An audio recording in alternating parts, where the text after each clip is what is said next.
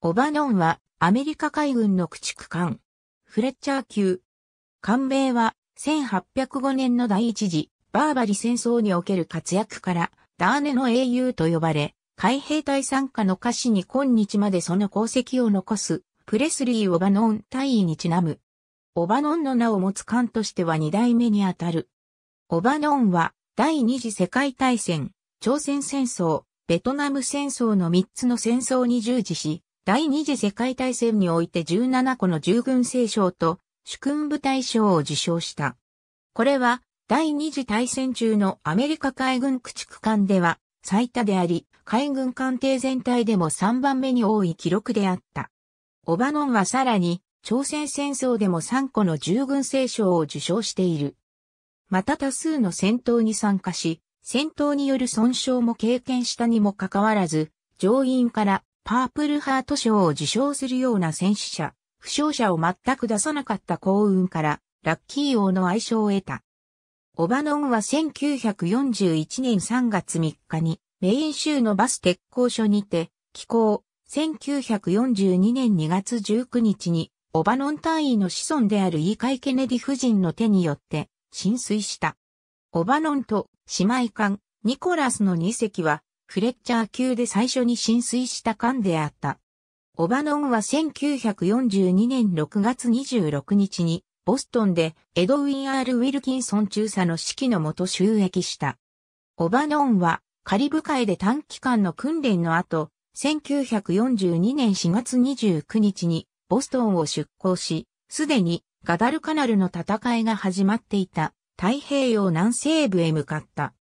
日米両軍による一進一退の激戦が続くソロモン諸島において、オバノンは第21駆逐戦隊に加わり活躍、同隊の他の艦と共に主君部隊賞を受賞した。1943年3月の編成当初の第21駆逐戦隊は、機関ニコラス以下、オバノン、フレッチャー、ラドフォード、ジェンキンス、シャバリア、ストロング、テーラーからなっていた。1942年10月を通して、オバノンは上陸部隊の防衛、ヌーメアとエスピリトサント島からガダルカナル島及びツラギ島への護衛任務、ガダルカナル島、ムンダとコロンバンガラ島への艦砲射撃、ザスロットでの夜間紹介、日本軍の増援部隊輸送に対する警戒といった多様な任務を実施した。オバノンはニューカレドニアのヌーメアを拠点に10月9日に護衛空母コパヒーを護衛して最初の護衛任務を実施した。コパヒーはヘンダーソン飛行場へ展開させる海兵隊所属の20機の F4 回ワイルドキャットを輸送していた。オバノンは同月の間ニューヘブリティーズとソロモン諸島南部で護衛任務を実施した。11月7日、ヌーメアにて、オバノンはダニエル・ジェイ・キャラハン少将の支援艦隊に加わり、緊急の増援部隊、補充部隊、糧食、弾薬、そして航空機材を輸送する戦団の護衛に備えた。ガダルカナル島への途上、オバノンは浮上中の敵潜水艦を発見、砲撃によって先行させ、戦団を安全に通過させた。11月12日の午後、一部がカラニの輸送船団を護衛中に16機の敵雷撃機による襲撃を受けたが、11機を撃墜。オバノンはそのうち4機の撃墜を記録している。11月13日の第3次ソロモン海戦の第1次野戦では、オバノンは戦艦比叡に果敢に攻撃をかけ、手法で射撃できない至近距離まで接近した。オバノンの射撃は他の艦による攻撃とともに、比叡に大きな損傷を負わせ、翌日処分に追い込んだ。一説によると、オバノンはまた従順洋艦サンフランシスコと共同で、駆逐艦暁を撃沈したともされる。旅34撃沈を記念して、メイン州のジャガイモ生産者から送られた飾り板。1943年4月5日午前2時18分、第21駆逐戦隊の両艦ストロングと共に、夜間の沿岸砲撃任務から帰島中だったオバノンは、ラッセル諸島付近で、日本の潜水艦旅号第34潜水艦が浮上しているのを9350ヤードの距離からレーダーで発見、急速に距離を詰めて午前2時30分に体当たりを試みた。しかし衝突する直前、艦長ドナルド・マクドナルド・ショーサラ・オバノンの士官たちは、旅34を機雷不設艦と誤認して衝突を避けるため急転打を命じた。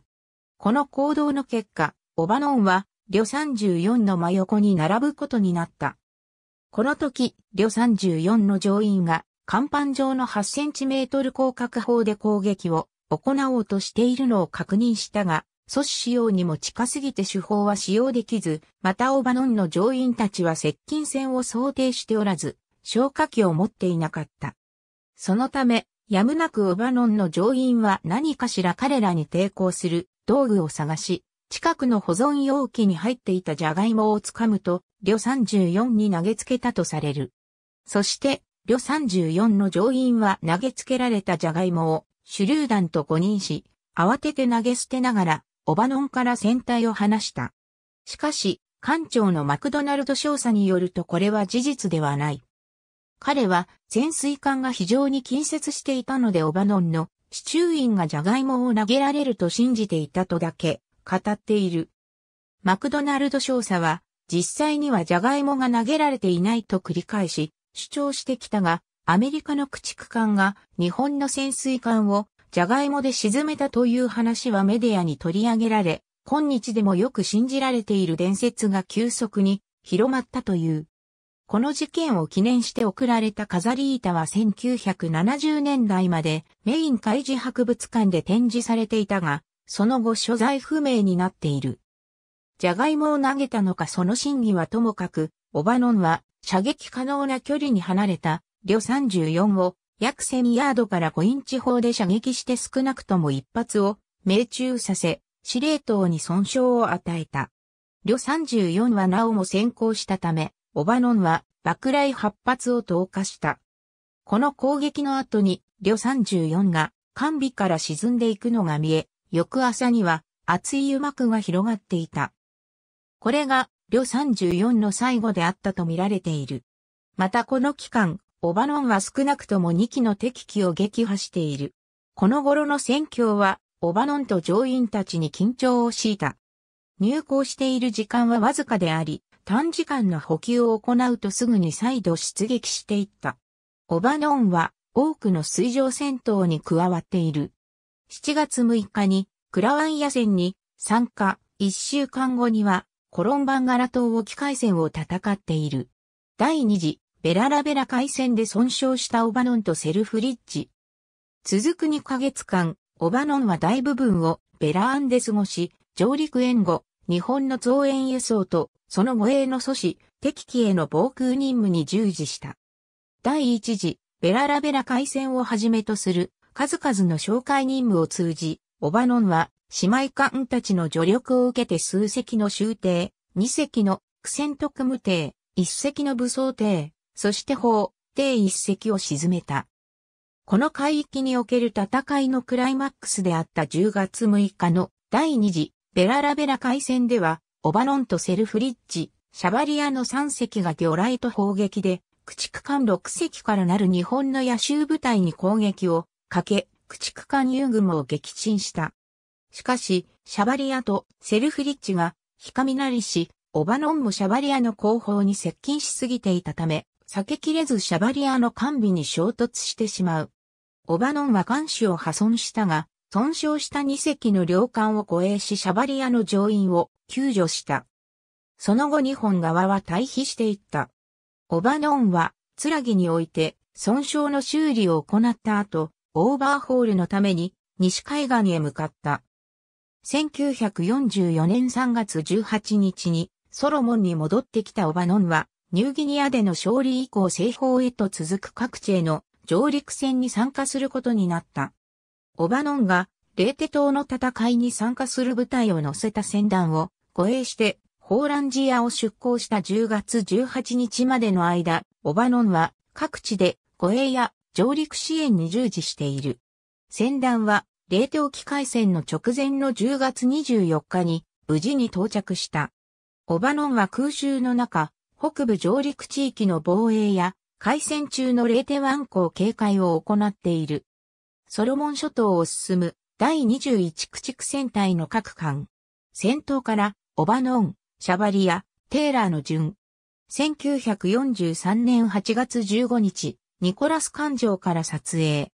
1945年6月までの間、オバノンは主にフィリピン各地での護衛、戦闘任務を行った。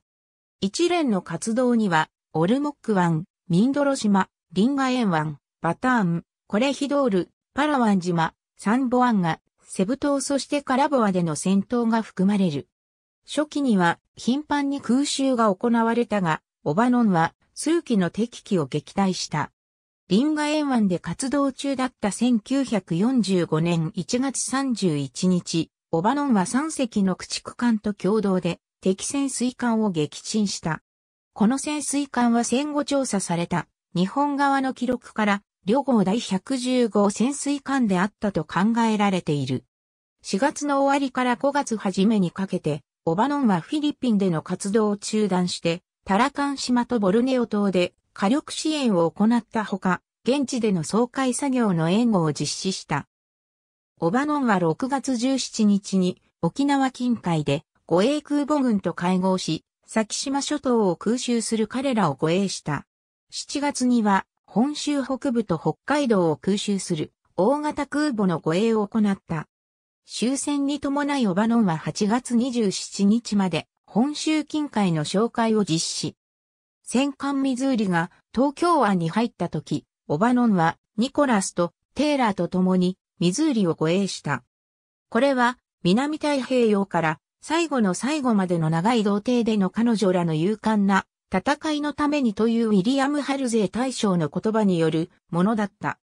それから、幸福文書調印式の前日である9月1日まで、紹介を実施した後に、サンフランシスコへ向けて出港し、日本近海から初めて本国に凱旋した艦艇となった。オバノンは、オーバーホールの上で1946年5月21日に退役した。1949年1月17日から1950年2月10日にかけて、オバノンはロングビーチ海軍造船所において護衛駆逐艦に改装された。そのため、オバノンの看番号は1949年3月26日に D-450 に変更されている。護衛駆逐艦に改装後のオバノン。ヘッジホック対戦迫撃砲や3インチ連装速射砲が搭載されている。1968年に本会にて撮影。オバノンは1951年2月19日に最終駅し、真珠湾の沖合で活動した。最初の展開任務は11月9日、朝鮮戦争に伴う国連軍に参加して、朝鮮半島での北朝鮮軍の攻撃を阻止することだった。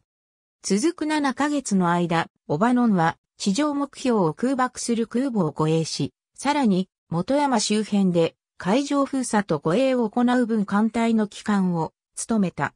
敵の砲台、道路及び鉄道輸送路、弾薬集積所、集結中の敵部隊などを砲撃したほか、朝鮮半島と日本を行き交う戦団の護衛を実施している。1952年6月20日に帰国後は、真珠湾の周辺で訓練を行い、さらにエニウェトク干渉で初の水爆実験に参加した。オバノンは1953年4月下旬に真珠湾を出港後、空母の護衛として台湾海峡への展開や日本及び米統治下の沖縄沖で演習を行った。朝鮮戦争とベトナム戦争の戦艦機、いかなる有事の際にも迅速に第7艦隊の艦艇と人員を展開させられるようにするというアメリカの複雑な計画にオバノンも組み込まれた。これはオバノンにとってさらなる極東での6ヶ月にわたる展開と演習、そして真珠湾でのオーバーホールを意味した。極東展開の間、オバノンは日本、フィリピン、台湾、オーストラリア、ニュージーランドの港を訪れたほか、招待によって香港で短期間のレクリエーション機構を行っている。また、オバノンはオーストラリアもしくはニュージーランドにおいて例年行われる産後海海戦の追悼式典にたびたび参加した。オバノンは東南アジア条約機構加盟国との共同演習、沖縄での海兵隊との演習、第7艦隊の各種演習を行った。真珠湾にいる間には、オバノンは自らの訓練とともに予備役兵への訓練を支援、場合によっては宇宙ロケットやミサイルの発射に伴い軌道上に展開することもあった。1962年の夏と秋には、ジョンストン島での核実験に参加している。1962年6月30日に、オバノンの看番号は DD-450 に戻された。1964年、オバノンはジョン・ウェイン主演の映画、危険な道の撮影に使用された。オバノンが初めてベトナム沿岸に接近したのは1964年から1965年にかけての展開においてであり、12月26日に紹介と海域調査のために香港を出港した。1966年の洋上展開の多くをオバノンは南北ベトナムで関西機による空爆に従事する空母、キティホークのプレーンガードとして過ごした。同年5月と6月には、それぞれ1週間オバノンは地上砲撃を行い、南ベトナム解放民族戦線の宿営地や集結中の兵員、小型艇を破壊した。トンキー湾へ向かう空母エンタープライズを護衛するオバノンとニコラス。1968年3月6日撮影。このベテラン駆逐艦は横須賀を経由しながら7月30日に真珠湾に帰還し、8月にアポロ宇宙船の回収訓練を行う。このため9月にオバノンはジェミニ11号の回収部隊に加わることになった。1967年春にはグアムを訪問し、7月初めに新たな極東展開のために母港へ戻った。オバノンは9月28日に日本へ向かい10月7日に横須賀へ到着。15日にはスービック湾へ到着した。空母コンステレーションと共に戦闘海域へ向かい、11月7日からヤンキーステーションでプレーンガードを務める。スービック湾と香港での2週間の休養の後、オバノンはダナンへ艦砲射撃任務のため出港した。12月初めには台湾を訪問するが、15日には軍事境界線のすぐ南で火力支援を行うために戻った。2日後、オバノンは軍事境界線上空で被弾し沿岸で不時着した米軍機の乗員の救助を支援した。敵の沿岸砲台がオバノンに砲撃を行ったが被害はなかった。1967年の終わりを迎えても、オバノンは未だ友軍地上部隊への砲撃支援を行っていた。1970年1月30日、真珠湾において、オバノンの退役式典が行われ、同日除籍された。横にはかつて共に浸水し、共に第二次世界大戦を戦い、共に東京湾で終戦を見届け、共に朝鮮戦争に参加し、共にベトナムで戦った姉妹艦のニコラスが並んだ。そして2隻は共に退役した。オバノンには生涯で延べ約4000名の乗員たちが勤務した。オバノンは1970年6月6日にスクラップとして売却され、2年後に解体された。太平洋戦争の歴史は USS オバノンの物語を伝えずして記すことは不可能である。再三再し、オバノンと彼女の勇敢な妹たちは敵を追い返すように求められた。彼女らは私を決して失望させなかった。ウィリアム・カイ・ハルゼー元帥、ジェームズ・ディ・ホランチョ、アクション・トゥナイト序文より、ありがとうございます。